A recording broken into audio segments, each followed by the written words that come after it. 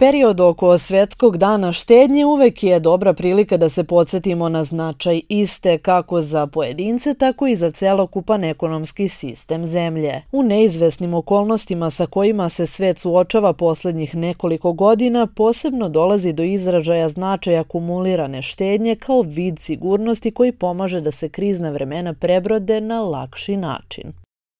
U prodavnici ne može da se uštedi, tamo može samo manje da se potroši, ali Eh, svaka, svaka oglasna poruka je dođi da uštediš pare tako što će potrošiti pare. Znači, to jednostavno nije tačno. Štednja i ušteđevina je eh, najlakše rečeno gomila koja se dešava eh, upravljanjem financija. Znači, ne možemo štediti kao aktivnost.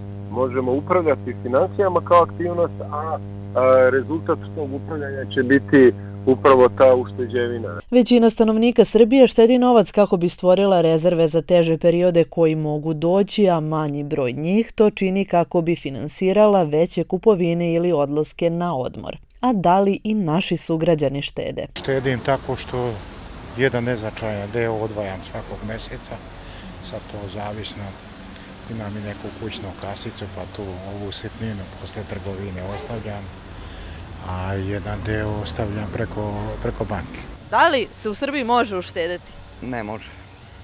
Ne, ne možete da uštedite ništa sa strane? Od 29.000 penzije ne možemo da uštedimo. Baš sad pričamo o tome. Pa evo vidite, pogledajte, evo kod mene je baš ovde kamate koliko su.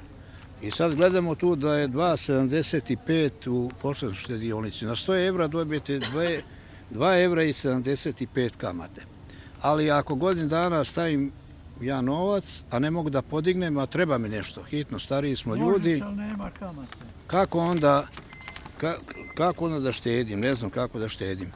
Zaista, trebala bi štednja da bude ozbiljnija, da privuče ljude koji u slamarice drže pare, jer nije sigurno držati novac kod kuće. Dušan Uzelac, urednik portala Kamatica RS, dodao je i to da je pri odluci da se smanji prekomerno trošenje važno da se na štednju ne gleda kao na odricanje, jer je zapravo štednja ulaganje.